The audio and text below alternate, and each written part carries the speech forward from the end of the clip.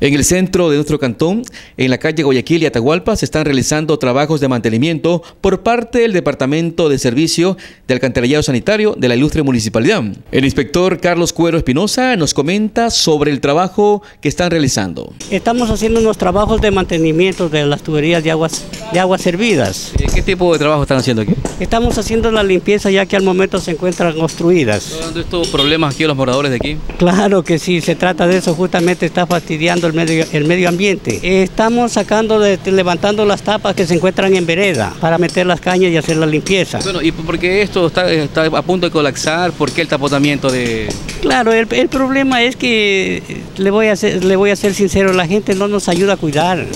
La gente, la gente totalmente es descuidada, este, mete por las alcantarillas, mete fundas de polietileno, meten este, botellas de, de cola, de esas de plástico, entonces eso taponea, las, las, tuberías son solamente para agua, no son para este tipo de, de sedimentos. ¿Ha sido algo el trabajo que tenemos que realizar? Está, está un poco duro porque tenemos que romper incluso el problema de las, de las, este, de las cerámicas.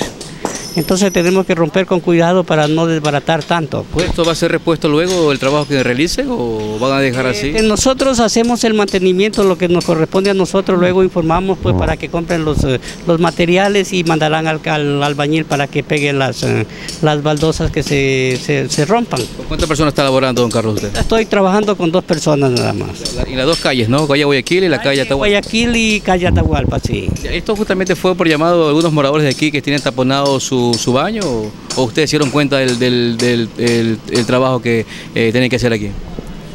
Sí, primeramente que nos llamó también este el doctor Tinoco, nos hizo la, la, advertencia, nos dijo que se encontraba un poco este preocupado porque eh, habían malos olores, entonces nosotros vinimos a hacer la inspección y nos encontramos con el problema. Esto nomás no existe aquí, don Carlos, existe también en otros sectores, otros barrios, vemos que hay alcantarillas que han, que han colapsado, están botando estas aguas servidas.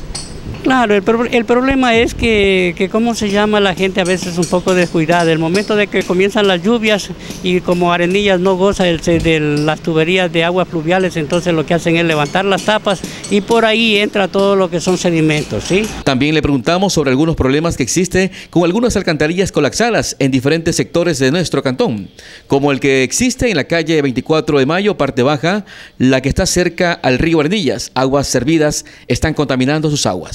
El personal que tiene el municipio de Arenillas para el mantenimiento de alcantarillados es poco.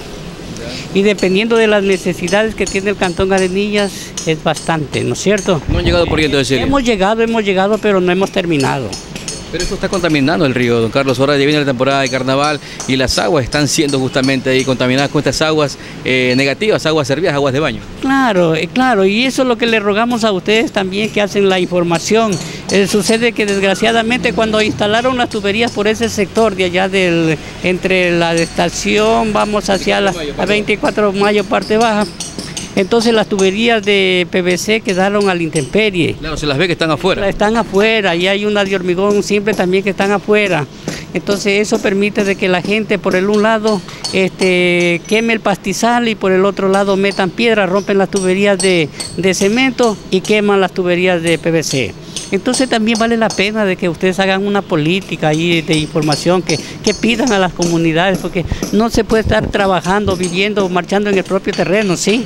Entonces es necesario así, es, claro, es una obligación del municipio, pero también una, una necesidad que la gente nos ayude, que colabore, ¿sí?